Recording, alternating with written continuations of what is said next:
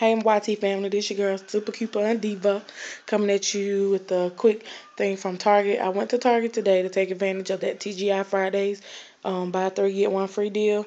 Um, I used the Target coupon and I used the manufacturer coupon. It was on sale for $1.99. I had a Target coupon for a dollar off and I had a manufacturer coupon for a dollar off. So I got that. And I got these sparkling waters. It was 48 cents. And I had a dollar off coupon. I got six of those. And I got three things of Uncrustables. They were 197 And I had a dollar off coupon. Made them a dollar. I got three of those. And I got these Scrubbing Mr. Clean thing. They were 188 And I had a um, 75 cent off of, think, any Mr. Clean product. And I just got these little child sizes trying to take up the overage that I would have left.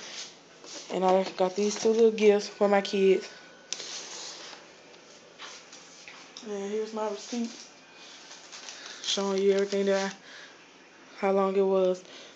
My total was, hold on y'all.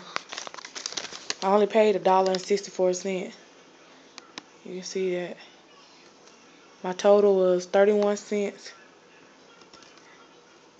And my tax was a dollar and 33 cents. So I paid a dollar and 64 cents for everything that you see here. I just came to let you guys see this. Good night.